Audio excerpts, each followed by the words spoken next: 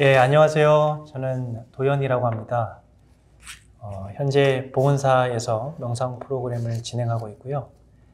예, 그리고 동국대에서 인도철학과 박사 수료를 하고 예, 졸업 논문을 진행하고 있습니다. 예, 그리고 그 이제 책을 여러 권 낸 저자이기도 합니다. 아, 네. 아, 아, 진짜 꼭 제가 만나보고 싶었습니다. 정말. 아, 그래요? 아, 네. 그래서 일단은 그 많은 분들이 궁금하실 텐데 일단 불교에 입문하시게 된 계기부터 한번 여쭤볼게요. 예. 제가 책을 읽어보니까 20세까지 독실한 신앙인으로 살았다. 그러니까 이거는 이제 교회를 다니셨다는 예, 말씀이시죠? 맞습니다. 그러다가 이제 카이스트라는 진짜 좋은 대학교 다니시다가 불교에 입문하셨다던데 네. 어떤 일이 있으셨던 거예요? 보통 이 출가한다 그러면 뭐 네. 엄청난 사건이 있었을 거라고 생각하는데 네네.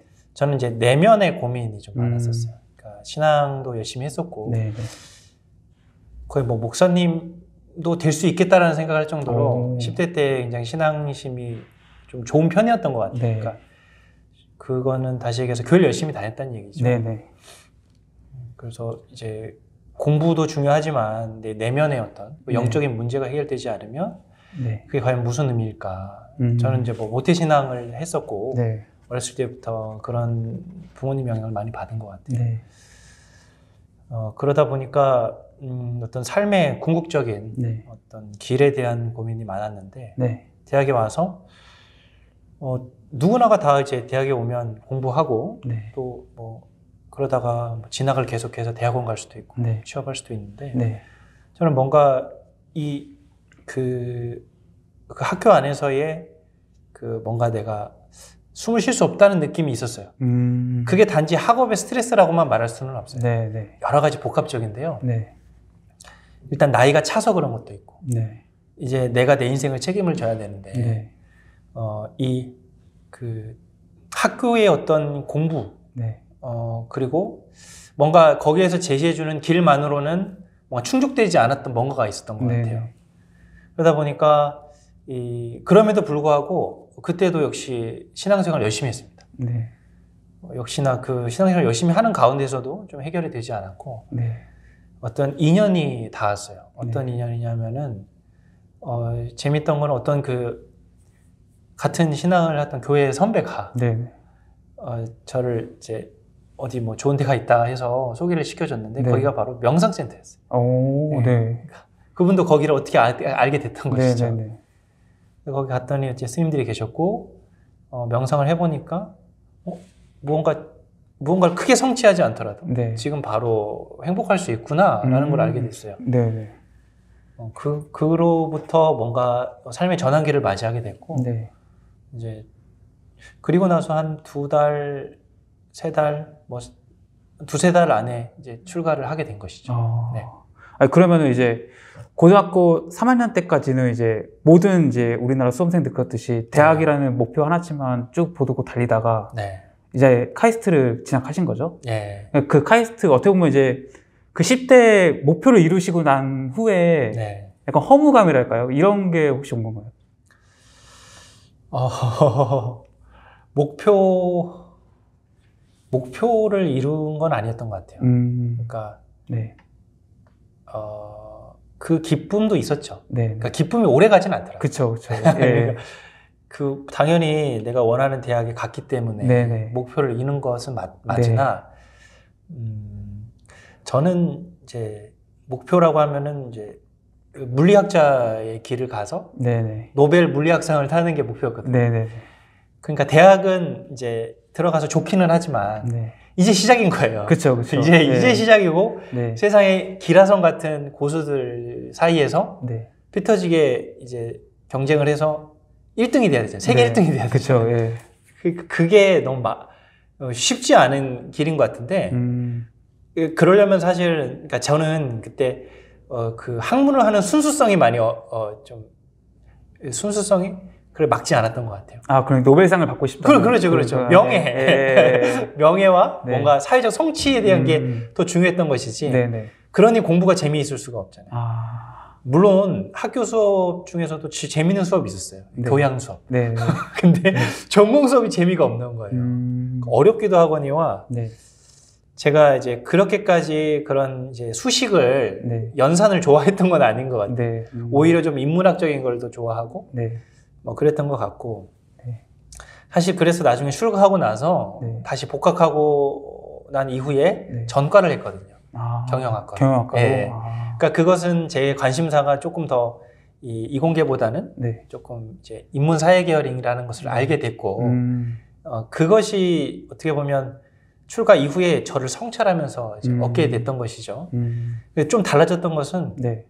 예전에는 이런 큰 명예와 내가 정말 그 유명한 사람이 되어야 되, 겠다라는 그것으로 혈안이 되어 있었다면 네네. 다 내려놓고 나서는 내가 가장 잘할 수 있는 거, 아. 내가 만족할 수 있는 거 네. 예, 그런 걸 찾다 보니까 네. 어, 이제 경영학을 선택하게 됐고 음. 근데 경영학도 제가 그 할 수 있는 최 그 당시에는 최선의 선택이었지만 네. 네. 학과가 네. 다 이공계 그쵸. 학과고 네. 그나마 경영학과가 있어서 갔던 것이지 아, 네. 그 대학원에 가서는 이제 철학을 이제 했던 거잖아요. 그러니까 음. 그래서 대학원에서는 이제 철학 공부도 하고 네. 불교학도 하고 네. 그렇게 제가 할 수 있는 하고 싶어하는 쪽으로 네. 점점점 방향을 잡고 갔던 것 같아요. 근데 그 이제 내가 고등학교 때 아, 나는 그래도 과학에 잘 한다, 잘 맞는다, 재미있다라고 하니까 네. 그 학교 그 학과를 가신 게 아닌가요? 그, 그러니까 이제 제가 네. 그 좋아하는 수준의 이 범위가 있잖아요. 음, 우리가 네. 고향 수준의 정도는 네. 재밌어요. 아, 어떤 분야든. 아, 근데 깊게 들어가면 정말 어떻게 보면 이제 장인 정신, 네네. 정말 그 마인드가 네네. 아, 이건 이 길은 내 길이다라고 하는 교육자는 깊게 파고들기 어렵잖아요. 음, 그쵸, 그쵸. 그러니까 그걸 넘어설 수 있을 정도의 네. 어떤 적성과 어, 어, 전문성은 아니었던 것 같아요. 음, 어, 일만 시간의 법칙 아시잖아요. 네네네. 그러니까 일만 시간의 법칙을 얘기할 때 가장 중요하게 생각하는 게 흥미와 네네. 적성 이런 거잖아요. 네네. 능력보다도 오히려 네. 능력은 하다 보면 개발이 되는 건데 그쵸. 적성이 없으면 하지를 못하죠. 맞아요. 그러니까 예. 그런 것던 것 같아요. 아. 재미가 없고 음, 할 수는 있으나 네. 고통스러우면서 해야 되잖아요. 네네. 그러고 싶지 않았던 거죠. 아, 저는 이제 20대 그 대학 입학하자마자 예. 조금 저는 많이 힘들었거든요. 아 그러셨어요. 이거 왜 힘들었냐면은 그러니까 이제 10대 때 저는 이제 대학교라는 그 목표를 향해서 이것만 이루어지면 전부 다 음. 성공하고 행복하고 그러니까 세상이 내 세상이 되는 줄 알았어요. 네. 실제 그렇게 선생님들 말씀하시고 그러니까 저도 이제 믿고 해서 제가 목표한 대학 갔는데 네. 다시 가보니까 말씀하신 대로 처음 다시 시작인 이제 시작인 거예요. 이제 시작. 이제 시작이면서 저는 그때 이제 상상을 하게 됐어요. 네. 내가 지금 뭐 고시 공부하든 뭐든 그 음. 목표를 또 이루면은 이게 또 여기서 또 시작이겠구나. 이게 좀 반복된다는 네. 느낌이 들면서 삶의 허무감이 좀 느껴졌거든요. 저도 거의 유사했던 것 같아요. 아 그래요? 예, 그게 네. 예측이 되는 거죠. 네, 그러니까요. 예. 이, 이, 이 tech tree라고 해야 네, 되나요? 네, 네, 이게 네. 딱 보이는 건데 네. 그것으로 만족하지 못할 것 같은 느낌이 아, 들었던 것이죠. 그때 저 그 허무감을 극복하기 위해서 네. 진짜 뭐 철학책도 많이 읽고 아, 저 불교 경전도 많이 그러셨어요. 읽고 그랬거든요. 그러니까 저도 이렇게 네. 네이버에서 네. 찾아보니까 네. 책을 많이 읽으신 걸로 이렇게 네, 학교에서 네, 네, 도서관을. 많이 다니신 걸로 기록이 돼 있더라고요. 네. 그러니까 아 그걸 이제 책으로 풀으셨다면 책에서 답을 찾고 싶었던. 네. 네. 저는 반대였어요. 음. 그 도서관이 아니라 네네.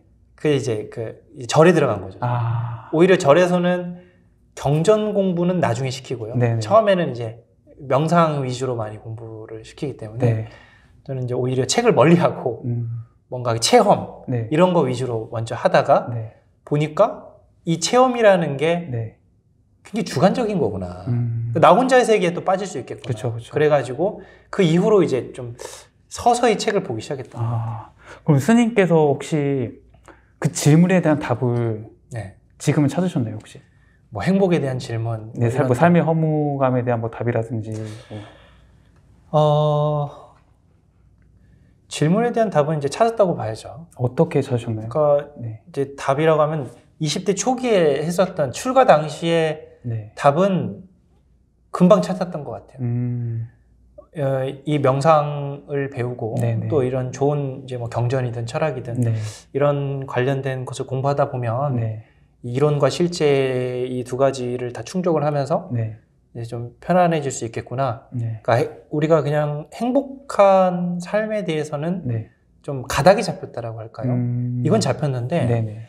그 제가 늘상 했던 고민은 뭐냐면 네. 그러면 반드시 스님이어야 하는가? 아, 그러니까 이게 그쵸, 두 번째 그쵸. 다시 네. 고민을 했던 거예요. 네. 그러니까 출가하고 한 1년 안에 이 문제는 해결됐어요. 음. 그런데 제가 복학을 또 했거든요. 네. 1년 뒤에 바로 복학을 했어요. 네. 휴학하고 나서. 이제 그때부터 승복을 입고 학교를 다녔죠. 네. 그- 그러니까 스님 생활을 하면서 학교 생활을 병행을 하고 네. 그러니까 일반 뭐 동국대라든지 네. 승가대를 다닌 게 아니라 원래 네. 다니던 데 카이스트. 예 그대로 네. 어, 다- 다녔는데 뭔가 이 여기에서 출가를 통해서 얻게 된 행복감이 네, 있잖아요. 네, 근데 그쵸. 내가 스님을 그만두면 네. 이게 사라질 수도 있잖아요. 아. 그러니까 이게 내가 결정을 못 하겠는 거예요. 음. 지금 당장은 행복한데 네. 내가 스님을 그만두면 네네. 또 전과 똑같이 돌아갈 수 있잖아요. 그쵸, 그쵸. 예. 근데 내가 네. 정말 어떻게 보면 승복을 입고 안 입고 네. 머리가 길고 짧음을 넘었으면 네네. 그러지 않아도 되잖아요. 사실은 그쵸, 예, 그쵸. 길이 꼭 그거에만 있는 게 아니니까. 근데 그 당시에 저희 20대에는 네. 꼭 승복을 입고 스님으로서 살았어야 되는 아. 그랬던 것이죠. 그래가지고 이제 이 대학 졸업하는데 10년 걸렸거든요. 네네네. 그래서 그렇게 해서 살았고 네. 그 이후에는 이제 조금 입장이 달라졌어요. 이제 음. 동국대 대학 대학교 대학원 공부를 이제 하면서부터는 네네네. 아 제대로 해보자. 음. 그러니까 이제 어 뭐 스님 이어서 행복하고 행복 안 하고 이게 아니라 네. 이 불교 공부, 네. 불교의 수행을 특히 좀 내가 이론에 그때 네. 많이 못했기 때문에 네. 대학원에 가서 그런 이론에 대한 공부를 좀 제대로 해보자. 음. 그러니까 오히려 좀 더 이 분야를 깊이 파보자가 된 거죠. 아. 20대 때는 이 길이 맞나 아닌가 네, 네. 이런 좀 고민이 많았더라고요. 음. 이제 30대는 아 이 길로 가면 되겠구나. 음. 이런 이제 그 질문이 달라졌던 것 같고요. 아. 그 이제 더 큰 범위에서 보면은 네. 과연 궁극적 해탈인 거죠. 네. 궁극적 해탈은 과연 네. 어떻게 이룰 수 있을까? 네. 그러니까 우리가 그 대해탈이라고 하는데 네. 이- 이건 내가 제가 이제 초기에 이렇게 했던 그런 질문이라기보다는 네. 이제 수행을 하고 좀 이렇게 지대다 보니까 네. 또 다른 세상이 보인 거죠. 그쵸, 그쵸. 우리가 뭐 수학 공부를 하고 네. 과학 공부, 경영학을 하는데 처음에 입문 단계에서는 그냥 이제 그게 전부인지 알지만 네. 이제는 그 넓은 세상들이 보이잖아요. 네. 고수들도 보이고 네. 이전에 살다 갔던 수많은 사람들도 이제 네. 그 분야의 전문가들이 보이지 않습니까? 네. 그러면 나는 저렇게 될 수 있을까? 음. 내가 저 길을 가면 과연 해탈할 수 있을까? 네. 네. 이런 거에 대해서 네. 궁극적인 어떤 그 어, 완전함에 대한 고민을 하고 있고 음. 이것에 대한 답은 계속 찾고 있는 것 같아요. 아. 근데 그 대해탈이라는 그 네. 경지에 이르게 되면은 네. 어떻게 되는 거예요? 그러니까 말이에요. 저도 지금 그거를 알고 네, 싶어서 네. 더 수행하고 또 공부하게 음. 되는 것이죠. 음. 근데 이제 보면 이제 경전에라든지 네. 이제 과거에 선지식의 어떤 말씀을 보면 네. 그 경지가 어떻다라는 말씀은 하게 되죠. 어떻게 표현해요? 뭐 예를 들면 뭐 분별이 없어진다. 아. 뭐 옳고 그름에 대한 분. 네. 선과 악에 대한 것이 네. 것에 우리가 보통 자신의 관점과 관념을 그쵸. 가지고 예. 선입견을 갖고 있잖아요. 네. 근데 그것이 선입견이라고 하는 것을 모르는 거예요. 음. 진리라고 생각하는 거죠. 아, 내 관점이 아, 곧. 진리고 음. 길이요 진리요 생명이에요. 아. 내 관점이. 음. 또는 반대로 어떤 이제 신을 너무 의지하게 되는 거죠. 아. 그러니까 뭐 예수님이나 뭐 알라, 네네. 하나님 네. 믿고 따를 수는 있어요. 네. 근데 그건 그것이 있고 내가 완전 없어 없, 내 삶은 없으면 네. 그것은 자칫 무언가 내가 이렇게 무가 되고 네, 네. 이렇게 무언가 내가 텅 비어져서 네. 무슨 뭐 우리가 주의 임재라고 표현하잖아요. 네. 네. 임재가 됐다라고 생각을 하지만 네. 물론 그런 신비 체험은 있을 수 있어요. 음. 은총은 있을 수 있지만 네. 이제 그 삶 자체가 나중에 이제 어 내가 끌려다니게 되는 삶이 될 수 있죠. 음, 그렇죠. 그렇죠. 그러니까 마, 치 어, 어떤 하수인이 된 듯한 네. 종이 된 듯한 네. 물론 내가 정말 믿고 따르고 하는 주님에 대해서 이렇게 신봉하고 존경하는 거는 맞아요. 네. 하지만 실상의 사람들의 삶을 보면 네. 신앙을 하는 것 같지만 사실 그 안에 그 끌려다니는 게 많이 있거든요. 음. 뭐에 끌려다니느냐? 구원이라고 하는 아, 그렇죠. 어떤 그, 그, 그 어떤 허, 어, 그것도 어떻게 보면 한탕주의 같은 거 일종의 음, 네. 내가 신실하게 신앙을 해서 욕심을 내려놓는 게 그렇죠. 아니라 네. 그래 구원하면 내가 네. 죽어서 천국에 갈 수 있단 그쵸, 말이야라고 그쵸. 하는 네. 욕심이 가득 차서 네. 이제 그것에 대해서 이제 이렇게 내가 내 삶을 못 살게 되는 음. 그러니까 진리가 너를 자유케 하리라 그랬는데 네. 네. 거기에 속박당해 버리는 그렇죠. 진리에 속박당. 속박당하는 거죠. 내가 진리를 소화해 가지고. 그것을 내 피살로 만든 게 아니라 네. 거기에 아이고 오늘도 교회 안 가면 나 오늘도 천국 문에서 멀어지는 거 아닌가? 그렇죠. 그렇죠. 이런 생각을. 음. 근데 그것은 단지 뭐 교회나 성당이나 이런 다른 종교만 그런 것이 아니라 네. 절도 마찬가지예요. 음. 절도 법당에 가서 그냥 연불만 하고 네. 그냥 이렇게 시주만 하면 극락왕생 할 것이다. 네. 그게 아니거든. 음. 내가 수행도 하고 네. 선행도 베풀고 네. 이렇게 해야 되는 것인데 음. 이제 예, 그런 의미에서 네. 그내 것만이 옳다라고 하는 분별이 사라지는 거예요. 음. 일종의 내 길만이 맞다. 네. 내가 믿는 신만이 맞다. 네. 내가 세- 내가 생각하는 이 수행법만 맞다. 네. 그런 분별이 사라지는 마음자리가 이제 깨닫게 되는. 음. 이제 그것을 해탈이라고 하고 네. 그러니까 우리가 선악이라고 했을 때 네. 과거에도 뭐 종교 전쟁이 많았었죠. 네. 네.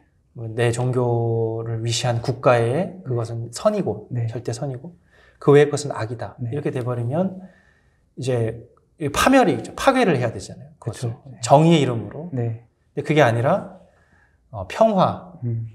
그도 옳, 옳고 나도 옳다라고 하는 음. 이제 그런 어떤 분별이 사라진 자리에서 네. 화합이 이루어지는 것이죠. 아. 그것을 어떤 해탈의 하나의 마음으로 보고 네. 이제 더 나아가서는 자비로운 마음, 음. 예, 그 부처와 보살의 자비로운 마음까지도 네. 이렇게 어, 솟아 나오고 네. 예, 그런 경지인 것 같습니다.